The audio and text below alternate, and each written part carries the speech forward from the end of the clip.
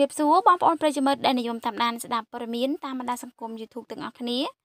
ថ្ងៃនេះអត្ថបទព័ត៌មាននេះខ្ញុំបាននាំអារម្មណ៍ប្រិយមិត្តមកជួបជាមួយនឹងព័ត៌មានថ្មីថ្មីថ្ងៃបុណ្យនៃក្តីស្រឡាញ់គេគ្រប់គ្នាសុទ្ធតែសប្បាយតែជីឌីវីតបែរជាជួបរឿងបែបនេះកណ្ដាលកោះទៅវិញ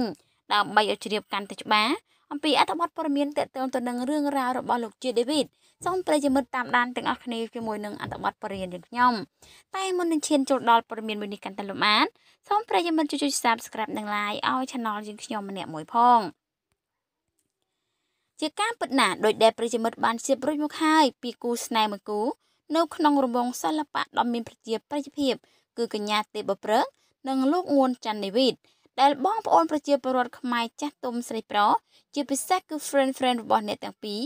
បានស្គាល់និងដឹងអំពីទំនាក់ទំនងស្នេហាដ៏សែនផ្អែមល្ហែមរវាងអ្នកទាំងពីរបែបចាក់ទឹកមិនលិចនោះក៏ទទួលបានការគាំទ្រយ៉ាងខ្លាំងពីសំណាក់ប្រិយមិត្តផងដែរតាមដានសង្គម Facebook ដោយឡែកកាលពីថ្មីថ្មីនេះនៅក្នុងឱកាសនៃវិធីបុណ្យចូលឆ្នាំថ្មី ប្រពៃណីជាតិចិន អ្នកទាំងពីរបានទៅលេងកំសាន្តស្រូបយកវីតាមីន C នៅឯសមុទ្រប៉ុន្តែជាអកុសលស្រាប់តែលោកជីដេវីតបានពលអាហារ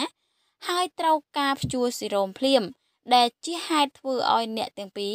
មិនអាចទៅដើរកំសាន្តជាមួយគ្នាបានខណៈដែល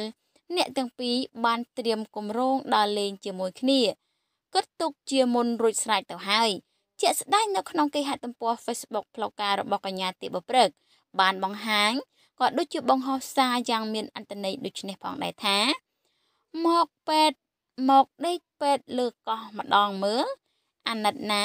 អ្នកឈឺឈឺឈឺឲ្យញ៉ាំអីឲ្យច្រើនអត់ទេឃើញខ្ញុំយេអត់ដែលចេះឈឺទេជាឌីវីតចាពិតជាសោកស្ដាយខ្លាំងណាស់ កញ្ញាទេបុព្រឹក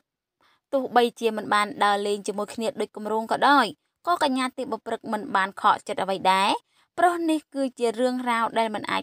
គិតស្មានទុកមុនព្រោះអីលោកជីឌីវិតពលអាហារទៅហើយទើបមិនអាចជូនចាទេបុព្រឹកដល់លេងដោយការគិតទុកមុននោះប៉ុន្តែទេបុព្រឹកក៏នៅតែស្រឡាញ់និងពេញចិត្តយ៉ាងខ្លាំងនិងមើលថែលោកជីឌីវិតយ៉ាងយកចិត្តទុកដាក់ទៀតផងឱកាសដល់លេងពិតជាមិនខ្វះទេ ឲ្យតែយើងជាពីជំងឺនោះគឺល្អហើយចាដូច្នេះអត្ថបទព័ត៌មានតកតងទៅនឹងរឿងរ៉ាវរបស់អ្នកទាំងពីរគឺមានតែប៉ុណ្ណឹងដើម្បីងាយស្រួលក្នុងការទទួលបានព័ត៌មានថ្មីថ្មីបន្ថែមពី Channel យើងខ្ញុំទៀតសូមប្រិយមិត្តជួយចុច Subscribe និង Like Channel យើងខ្ញុំសូមអរគុណនិងសូមគោរពលា